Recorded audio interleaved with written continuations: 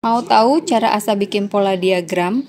Di sini kita akan butuh iPhone dan juga stylus pen universal. Ini bukan mirip Apple ya, ini mereknya Gojodok yang harganya 145 ribuan. Terus teman-teman juga butuh aplikasi knitting chart ada juga yang lebih murah yaitu uh, aplikasi crochet chart.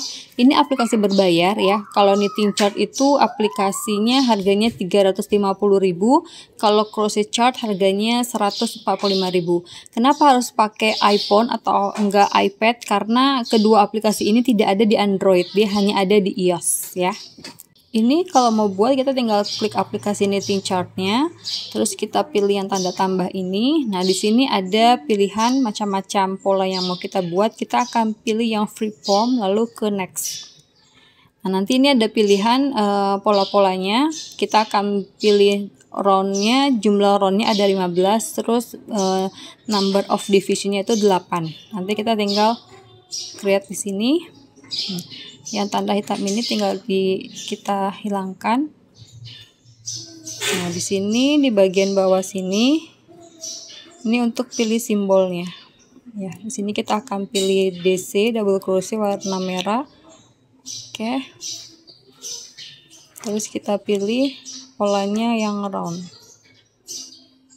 Nah ini tinggal di klik di sini. Di sini kita bisa pilih number of simbolnya kita mau bikin 16 DC oke. Okay. nah ini kita kita tinggal pakai stylus pennya. Nah, ini ini bisa tinggal kita paskan. Lalu di round kedua kita akan pilih DC increase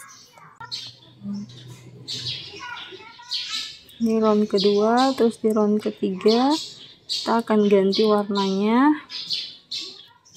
Lalu uh, sama.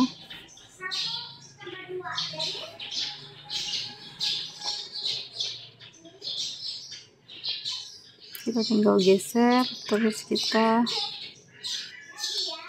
ini yang geser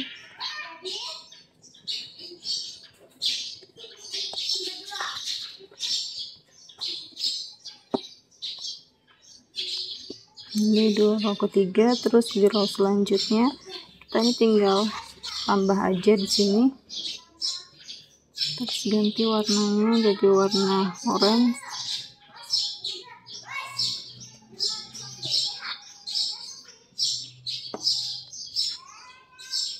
hmm.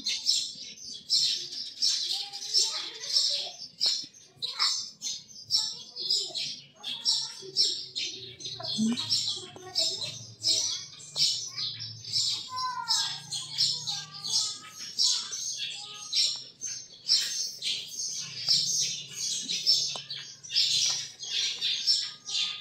Nah ini kalau misalkan posisinya nggak begitu tepat kita tinggal select ungroup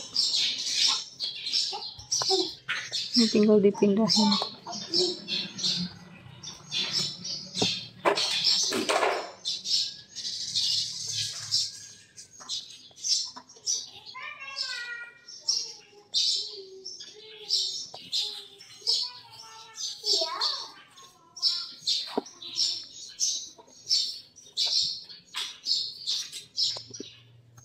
Oke, gampang kan? Selamat mencoba.